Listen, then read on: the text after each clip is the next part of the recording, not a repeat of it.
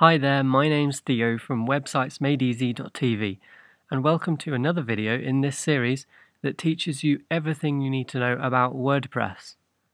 You can follow me click by click and with these videos and my help you'll be creating your first website in no time.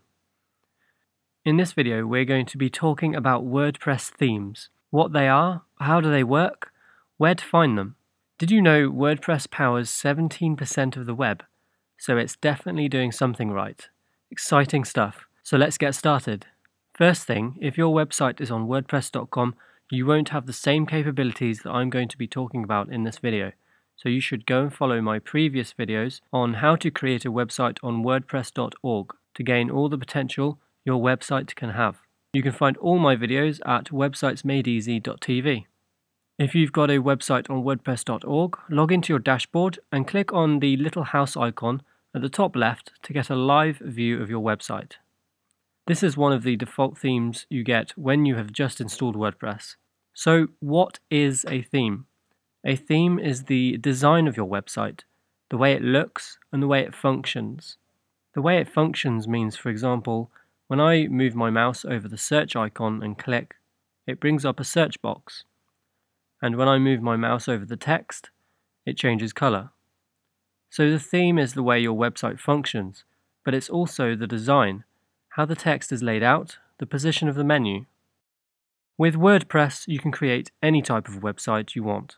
A personal blog, a photo blog, a business website, a professional portfolio, to a magazine or news website, even an online community. You can make your website beautiful with themes and extend it with plugins. You can even build your very own application. By the way, I cover a lot more on all this on websitesmadeeasy.tv, so feel free to check out my other videos as well. WordPress themes are also responsive, meaning they adapt to different browser sizes, whether someone uses a computer, a tablet, or a mobile phone to visit your website. They are resized to fit perfectly in large or small screen sizes. This is one of the reasons WordPress is so great and so popular.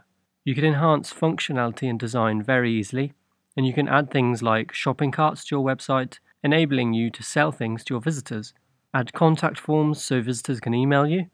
You can change the design to how you want. Really exciting, powerful stuff, and all this is covered in my other videos over at websitesmadeeasy.tv, so don't miss out on those. Let's see an example of how this all works to give you a better understanding. I'm going to log into my dashboard. Then I'm going to bring up my website in another window so I can see the changes that I'm making.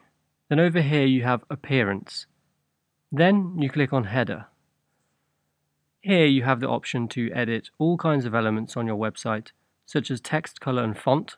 Here on the left you have the different areas of your website you edit with just a few clicks.